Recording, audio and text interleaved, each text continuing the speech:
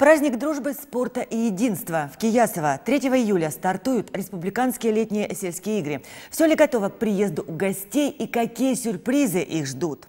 Об успехах, мотивации и преградах на пути к победе серебряный призер чемпионата мира по легкой атлетике скороход Сергей Широбоков откровенно о сокровенном – чем гордится руководство комплекса «Чекирил», где каждый год и зимой, и летом аншлаги. И что ждет интересного в этом летнем сезоне гостей? Все это в программе «Спортивный интерес» прямо сейчас. Здравствуйте! И сначала несколько фактов из спортивной жизни республики. Итак, новости короткой строкой.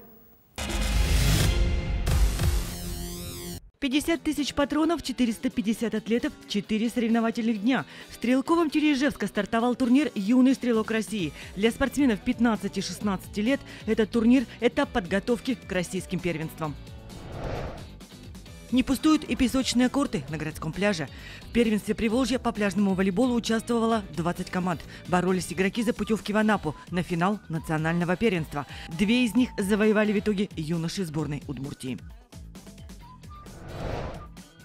Нелетная погода не помеха. Участники республиканских соревнований по авиамодельному спорту победителей определили. Лучший результат в командном зачете в категории «Свободно летающие аппараты» показали завьяловские спортсмены. Десятки личных рекордов были установлены на чемпионате Удмуртии по легкой атлетике. Заявилось на турнир более 150 человек. Это был практически весь цвет сборной Удмуртии. Атлеты Большеучинской школы-интернат выиграли в Сербии золотые медали на европейском турнире по юнифайт волейболу специальной олимпиады. Чествовали по приезду домой победителей в Министерстве спорта Удмуртии в торжественной обстановке.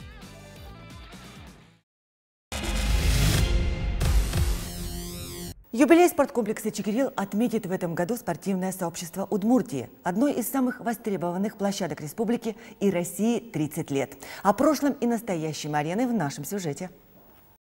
Еще в прошлом веке склоны холма на окраине Ижевска пришлись по душе биатлонистам, затем в конце 80-х за дело взялись поклонники горных лыж. Спустя два десятилетия начинается реконструкция, гору нарастили на 40 метров, в итоге Чекирил стал соответствовать международным стандартам. Сейчас это современный спорткомплекс, здесь тренируются следж-хоккеисты, легкоатлеты, лыжники, сноубордисты, велогонщики. Вскоре появится новая трасса для маунтинбайкеров. Делаем трассу. Ребята работают, сподвижники, они как бы, ну, бесплатно практически все это делают. А, вот.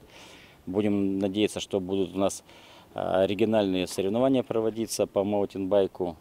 Сами велогонщики признаются в любви к Чекирилу. Красиво, просторно, удобно, плюс интересные трассы. Тут много гор, которые можно и поработать. И со спусков тоже спусков хватает. На ледовой арене Чекирила тренируются хоккеисты из Штали, следж-хоккеисты сборной Удмуртии, юные фигуристы. Каталась здесь и звезда Олимпиады в Пхенчхане. Да, также здесь Алина Загитова тренировалась, приезжала. И видели сами? А, да, мы с, э, с детьми наблюдали. Спорткомплекс оснащен плавательным бассейном, доступным не только для спортсменов, но и для всех желающих. Сборы проходят у спортсменов разных видов э, спорта. А также пловцы здесь у нас тренируются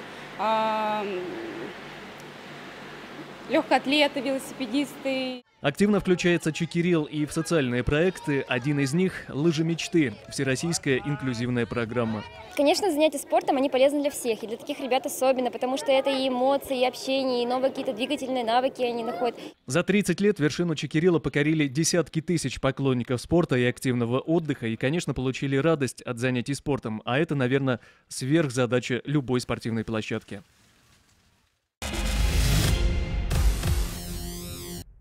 Более подробно о будущем Чекирила, перспективах его развития мы поговорим с гостем нашей студии Владимиром Гамом. Владимир Гам, генеральный директор спорткомплекса «Чекирил», окончил военно-транспортный институт Санкт-Петербурга, специальность эксплуатация и строительство железных дорог, квалификация инженер-механик, воинское звание капитан, владеет немецким языком. Каков потенциал вообще Чекирила? Какие площадки еще появятся в перспективе? Хотелось бы верить, что у нас обязательно необходим просто а, спортивный зал нормальный, нормальный стадион. И для, как бы сказать, завершения общей картины надо, конечно, еще одну гостиницу. То есть увеличение... второй гостиничный да, комплекс. второй гостиничный комплекс обязательно необходим. Возможно, ипподром, авто или мототреки. Вот может ли это со временем у нас все-таки на Чикириле появиться? Там все для этого есть. Потому что для автомототреков я сам в детстве за- занимался как бы...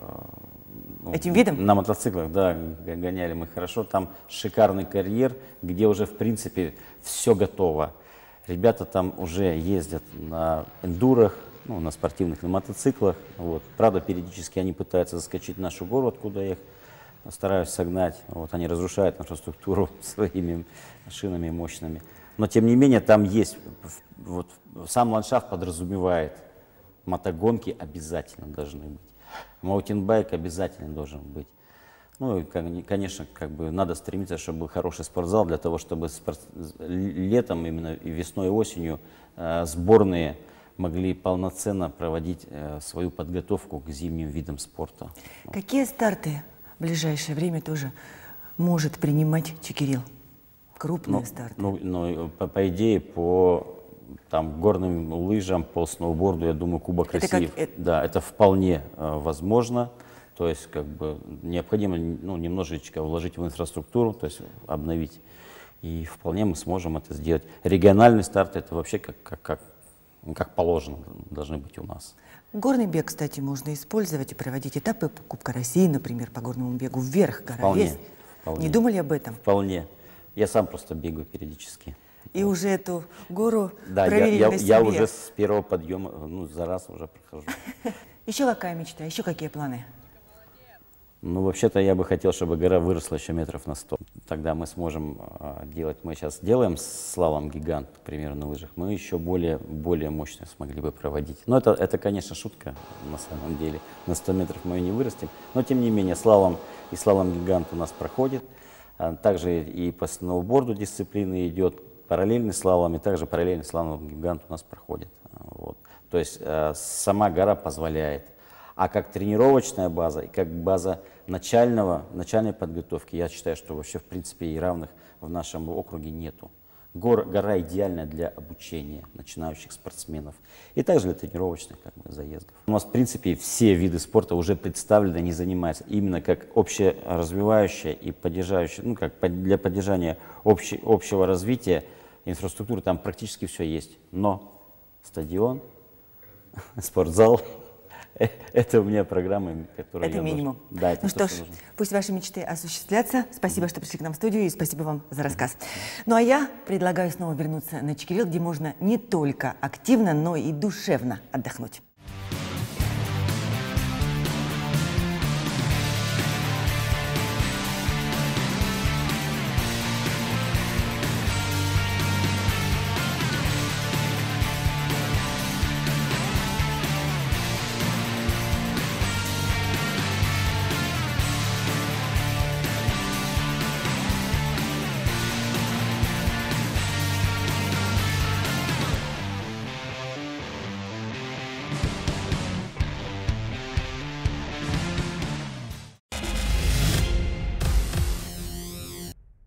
И традиционная рубрика «Золото Удмуртии» откровенно о сокровенном расскажет серебряный призер чемпионата мира по ходьбе на 20 километров Сергей Широбоков.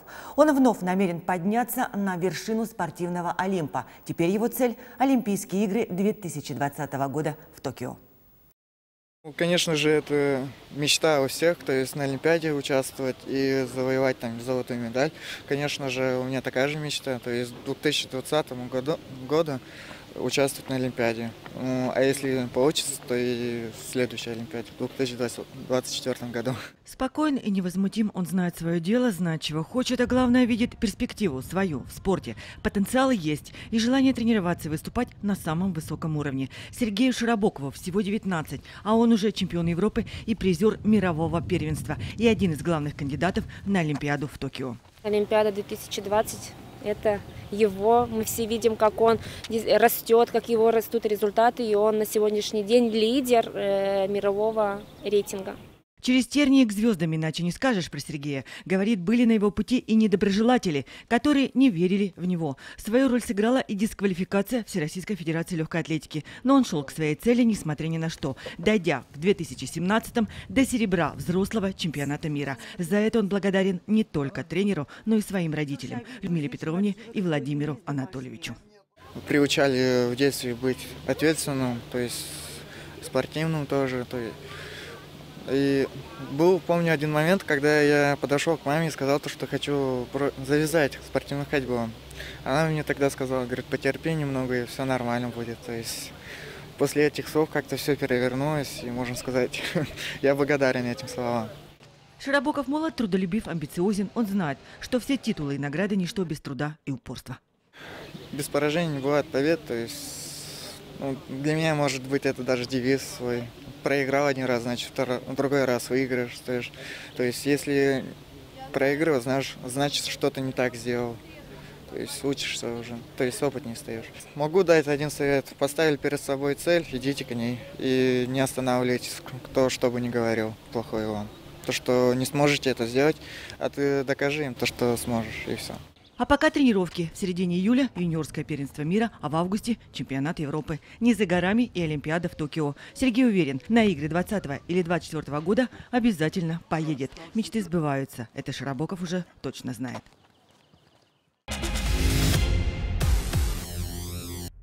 Главное спортивное событие июля – летние сельские республиканские игры в Киясово. Стартуют они 3 июля. Лучшие сельские атлеты разыграют 50 комплектов наград и установят немало рекордов. О том, как готовится республика к сельской олимпиаде, узнал мой коллега Илья Вихарев. Ему слово и внимание на экран. Привет, Марина. Сейчас нахожусь в кабинете министра спорта Удмуртии с Натальей Владимировной Гольцовой. Впереди у нас – не менее важное событие для республики – 27-е сельские спортивные игры, которые стартуют уже совсем скоро в Киясове. Наталья Владимировна, какова программа? Давайте с этого и начнем. Мы стабильно проводим эти игры. А, конечно же, около 20 видов спорта. Это легкая атлетика, волейбол. А, также у нас есть дзюдо. И э, есть интересные виды спорта. Это лапта и перетягивание каната. Какие новшества будут? Какие, что мы увидим? Ну и новшество – это триатлон. Плавание 200 метров, вело 6 километров и бег полтора километра. Ежегодно сдаются объекты к сельским спортивным играм, и к зимним, и к летним. Стадион получает Киясово в этом году. Да, Киясово в этом году получит стадион. Э, новый, красивый, современный. Четыре дорожки, как я сказала, уже на 400 метров с искусственным покрытием, прорезиненный. Ну, в общем-то, очень красивое это зрелище. И также около него будет стоять фок это будет классно. Кто будет из известных спортсменов? Давайте вот с ВИПов начнем. Кто приедет поздравить сельских атлетов? Это Галина Алексеевна Кулакова и Тамара Ивановна Тихонова, и Иван Черезов, и Максим Валикжанин. Участников будет 1350 совместно, э, вместе с представителями это полторы тысячи участников будет. Ну и также ждем около пяти тысяч гостей, которые захотят прийти. Это болельщики каждой семьи. Они придут посмотреть эти игры, ну и, конечно же, весь район. Спасибо, Наталья Владимировна. Ну что ж, мы всех приглашаем на 27-е республиканские сельские спортивные игры. Будет интересно. Спасибо, Илья, спасибо, Наталья Владимировна, за подробный рассказ.